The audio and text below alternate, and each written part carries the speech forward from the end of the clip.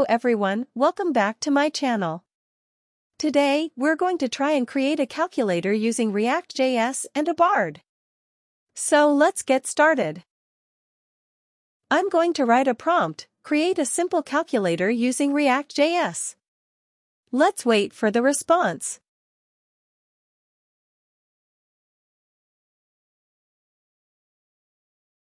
And yes, we got the response.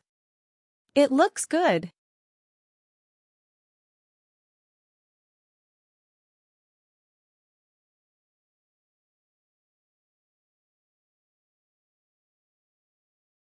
We also have a reference from where the BARD provided us with the data.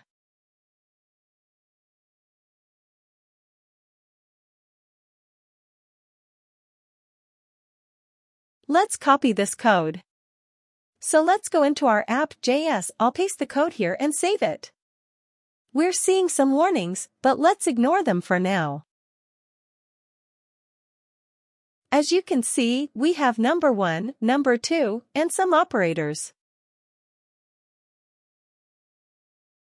Let's test the code. S. Let's try entering 10 and 20 and perform addition.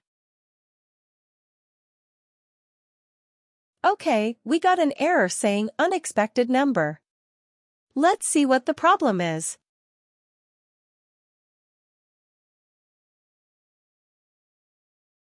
Okay, I found the issue. In the select there is no onChange method and operator is not getting assigned.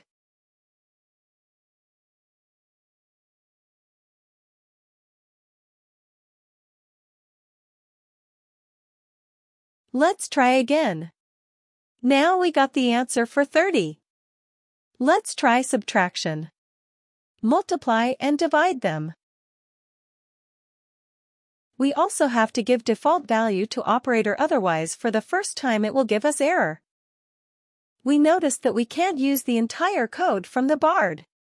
We need to make some changes and verify it. So, that's one limitation of using the BARD, but it will definitely improve over time and provide tough competition to ChatGPT. Now, let's try adding some styling to the code. We'll ask the Bard to add some CSS styles.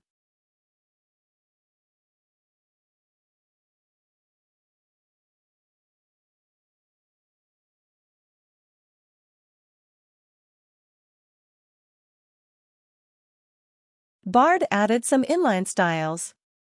And also gave us code snippet that we can use in our style.css file.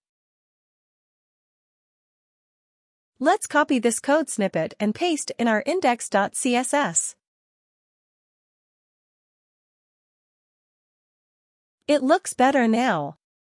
Though we can use other tools like Material UI for better styling, this works fine for now. Also, it's working as expected. Let's move on and add styles to the buttons as well.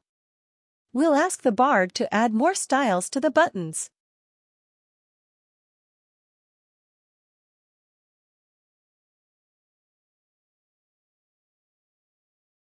Great, they added some styles for button tag.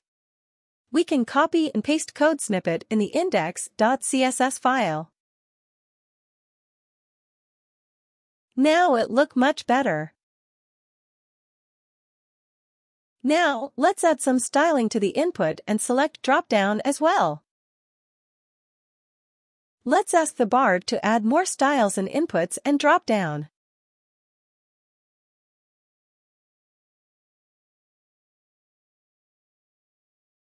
They provided some code. Let's try it out.